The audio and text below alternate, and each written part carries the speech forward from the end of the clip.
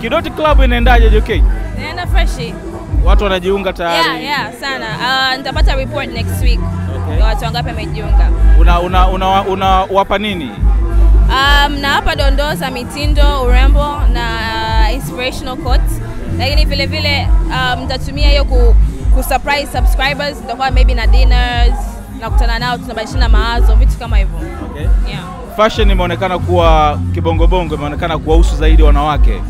Wanaume tunaruhusiwa pia kujiunga Of Club. Yeah, nimepata request nyingi za wanaume wanataka kujiunga. So wanakaribishwa. Okay. Yeah. Okay. Uh, mwaka jana mwishoni mwishoni hapa kuna project za movie na tamthilia ulifanya. Umeona trailer yake? Bado. Um, trailer yake ime- ime- imetoka, nimeona JB ameipost recently, nitakutumia link. Okay. It's nice. Umejisikiaje ulipoiona? Umependa? Yeah, nimependa, nimefurahi, nimefurahi sana. Um, imen, imenipa moyo. Yeah. na, na ukawa umefanya pia uh, nani kwenye kwenye kwenye uh, hii tamthilia hii inaitwaje? Siri ya- Siri ya Mtungi. Yeah. Hebu tueleze ume, umefanya nini mle? Ulikuwa kama nani? Kama mle ni, niko kama Jokate kwa sababu walikuwa wanatafuta uh, mwanamitindo mashuhuri Afrika Mashariki. So wakasema okay, tutumia tumia tu director Karabani sasa hivi ame take over Cycle hii, akasema tumia basi tu jina lako it's fine. Okay. Yeah, kwa hiyo nimetumia Joe Kate na ni msichana ambaye ana- anajaribu kumtia katika vishawishi Cheche. Yeah. Yeah, lakini Cheche anakabiliana navyo. Cheche ndio mwenye nywele nyingi. Yeah, yeah, yeah.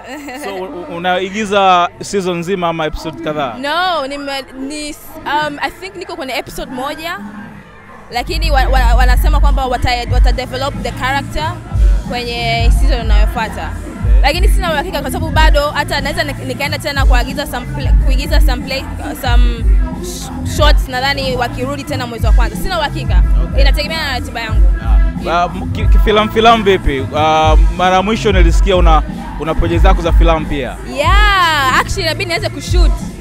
I got a good deal. Um, nitaitangaza soon. Napitia tu sasa hivi script, nilikuwa namalizia malizia kupitia script. Jumatatu tutaenda kukamilisha. So, yeah. I'm excited. Oh, unaingi- una- Unaingia rasmi sasa. Yeah, the return of Queen Jojo. Okay. Na muziki? Muziki um, I'll, I've been recording. I have, I have, I have nyimbo zipo yeah. for sure. I have songs out there. I, I'm just waiting kuzitoa. Na I'll, I'll, I'll pull up Beyonce. I'll just I'll pull up because Lily hype sana kagadara. That was a good thing. I loved how I used social media. So sasa hivi definitely nitafanya kitu tofauti kidogo. So I'm not telling anybody lini ama how ama ni nimefanya na nani ama ni mziki wa aina gani. Okay. Yeah. Umeongelea kuhusu social media. Yeah. Um, nadhani kwa mwaka jana imefanya mambo makubwa sana kwa maana promotion, Yeah. watu wana promote show zao na nini. Unadhani Una- una- kwenu kwa- nyie ama kwa watu wengine social media inaweza ikakusaidia vipi katika maisha yako ya kikazi? Um, inaisaidia kufikisha ujumbe kiurahisi, you understand? Nadhani mtu ambaye anaweza kutuonesha zaidi jinsi gani social media imekuwa na nguvu ni Beyonce. Of course kule maybe watu wengi wako kwenye social media, lakini huhitaji kutumia hela nyingi kumarket kitu chako.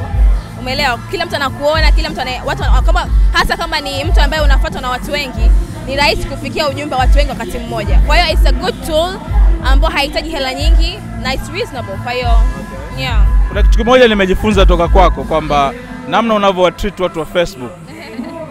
Unajua kwa wasichana kama wewe tunawategemea Vingereza vingi na nini, lakini kule huko Kiswahili Swahili sana, yani ki- ki- Kitanzania sana. Kwa nini na unawapa funzo gani wengine ambao wanakuwa tofauti? Okay, kwanza kwa sababu um, mashabiki wangu wengi, wengine ha, ha- hawajui lugha ya Kiingereza na mimi obviously najua lugha ya Kiingereza na Kiswahili. Um, so I was like nitatumia Facebook nitakuwa na post kile kitu like 99% itakuwa kwa Kiswahili.